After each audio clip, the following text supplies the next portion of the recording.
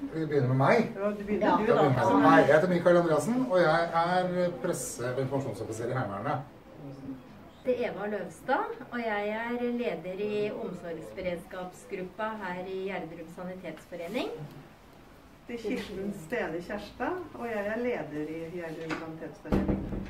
Og det som er så fantastisk, er at vi har jo blitt litt kjent med hverandre i her. Og for sånne som, som oss, da, som løper rundt eh, og driver med andre ting eh, enn det dere driver med, så kommer dere eh, og er der for oss på en helt fantastisk måte.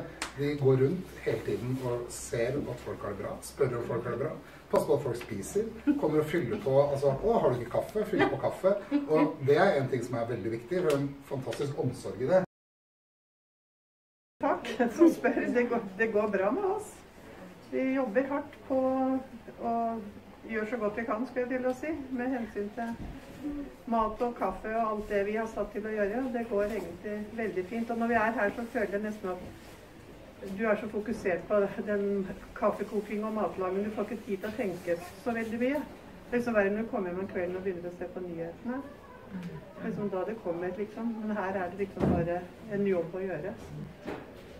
Vi har jo sagt det mange ganger at eh, det høres kanskje rart ut for andre, men, men, det, men det er godt å være her. Det er, det er jo en boble. Det er en boble her. Så, så det, er, det, er, det er godt å få være her, og, og veldig godt å, å, å få bidra i lokalsamfunnet. På onsdags morgen så, så satte vi i gang med, med den varslingslista vi, vi har.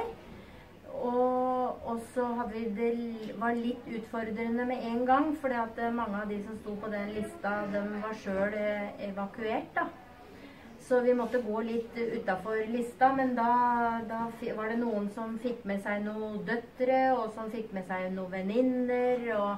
Og, og etter hvert som tida har gått, så, så har vi jo hatt masse henvendelser ifra fra folk som eh, veldig gjerne vil stille opp og, og gjøre en innsats.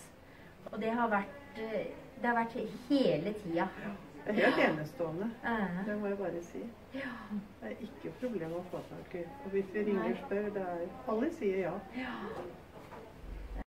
Det er mange her som eh, glemmer å spise, faktisk. Eh, som, og da blir de jo eh, mye mer slitne og enda mindre i stand til å gjøre den jobben som skal gjøre der ute.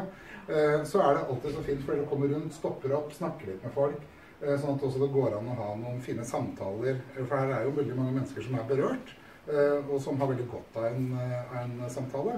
Så de også syns dere har vært utrolig fine til å bidra med. Altså.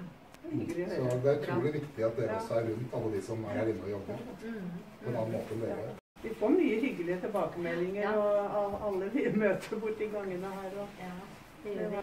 Så det er en, eh, det er en spesialgave til deg, Anne Karin.